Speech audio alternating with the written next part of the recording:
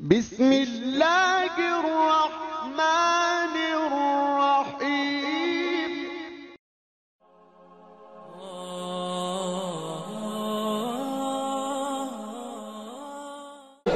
মাশাল্লাহ মাশাল্লাহ আমার বাবার তাহি আসছে মারহাবা বলবেন না আমি একটা জিনিসের সামনাসামনি কথা বলবো আপনারা বসেন সবাই বসতে হবে তো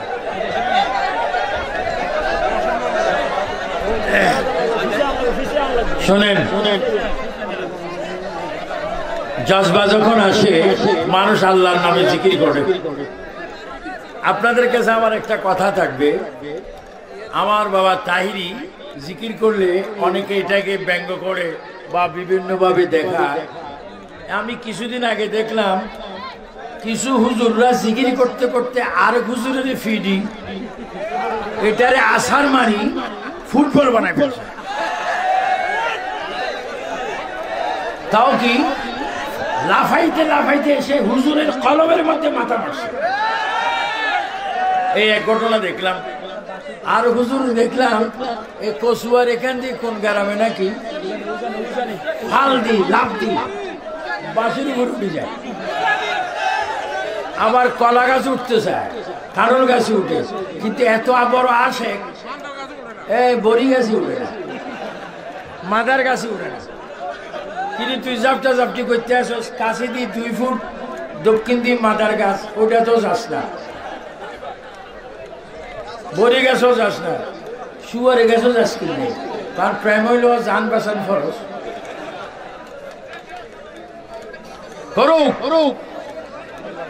আমাদের তাহিরি যেভাবে জিকির করছে, তার চেয়ে আরও মারাত্মক জিকির তাদের মধ্যে আছে। আছে কিনা আরও জন আছে কিনা এরকম বহু ভিডিও আছে, আমি আপনাদেরকে বলব। কিছু আমলের কথা, আমিও আস্তে আস্তে কিন্তু বিয়ে হয়ে যাচ্ছি। আমার অনেক যুবক, আলেম সমাজ, মুরব্বী সমাজ ইন্তেকাল করেছে। একদিন শুনবেন আবিসমিন আবিদিয়াল কাদিরিও নেই। আমরা তো অমর হয়ে আসি। কিন্তু আমাদেরকে কবরের কবরের প্রথম সওয়াল হবে ইমান। মনে রাখবেন, কবরের প্রথম সওয়াল কি? আর হাসুরের ময়দানের প্রথম সওয়াল হবে নামাজ। মনে রাখবেন, হবির মনোযোগ।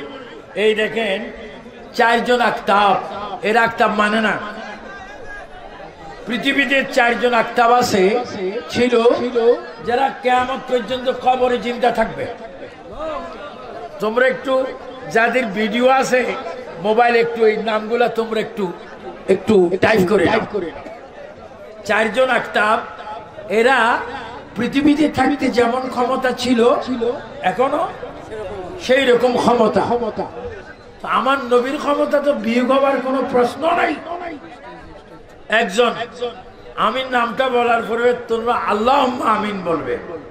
এবং আল্লাহ যেন এই আক্তাব্দুর উসিল আমাদের গুণা মাফ করে, মনের মকসুদ যেন পূরণ করে, ফারুকি রহমতুল্লাহ কবরকে যেন আল্লাহ জান্নাত বানায়। বর্রবাসী যত সুন্নি কবরস্থান আছে, আল্লাহ যেন প্রতিটি কবরকে মিন্ডিয়াজের জান্না বানায় দেয়।